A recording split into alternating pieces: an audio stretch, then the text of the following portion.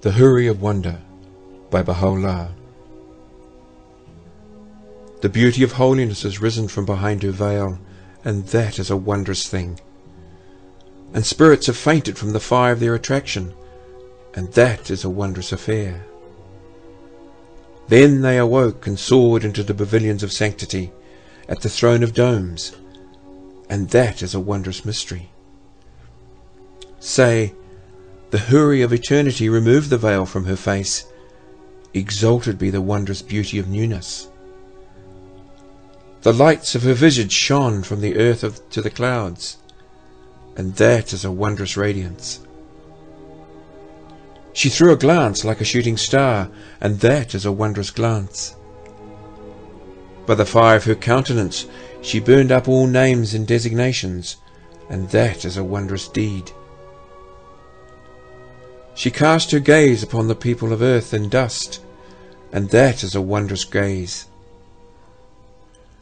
Behold, the temples of existence quivered and then vanished, and that is a wondrous death. Then a black strand of hair appeared from her, an adornment for the soul in the gloom of hindrances, and that is a wondrous hue.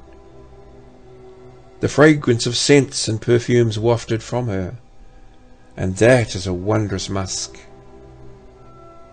In her right hand she holds red wine, and in her left, kebab, and that is a wondrous grace. Her palm is dyed crimson with the blood of lovers, and that is a wondrous thing. She passed around the wine of life in jugs and cups, and that is a wondrous fountain and sang to the beloved's name, strumming on lute and rebeck, and that is a wondrous song.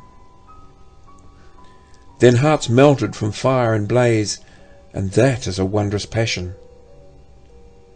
She bestowed the nourishment of beauty without measure, and that is a wondrous food.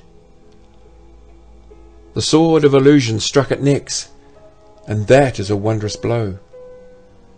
She smiled, and the pearls of her teeth were manifest, and that is a wondrous gleam. Then the hearts of those who understand cried out, and that is a wondrous self-denial. And all those filled with pride and suspicion turned away from her, and that is nothing but a wondrous opponent.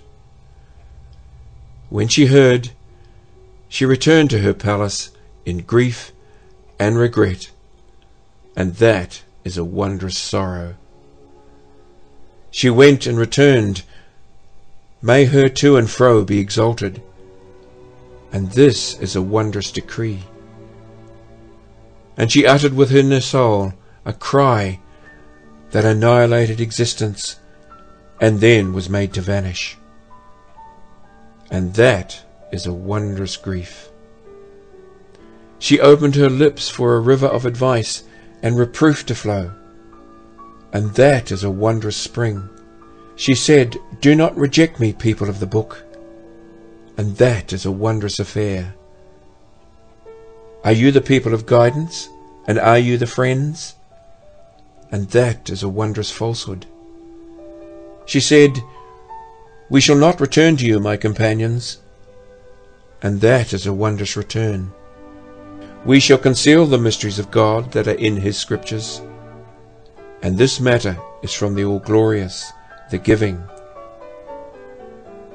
You shall not find me until the promised one appears on the day of return.